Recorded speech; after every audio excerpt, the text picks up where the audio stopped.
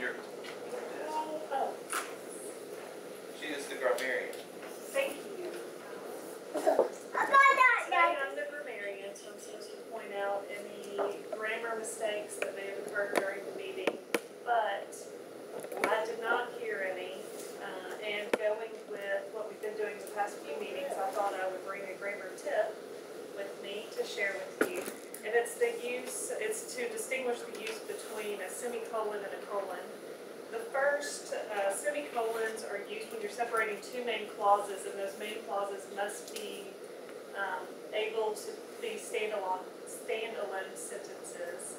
And if you use a colon, it's between a main clause and a list, and that first portion before the colon must be able to be a standalone sentence, and the, the remaining part of the sentence does not have to be.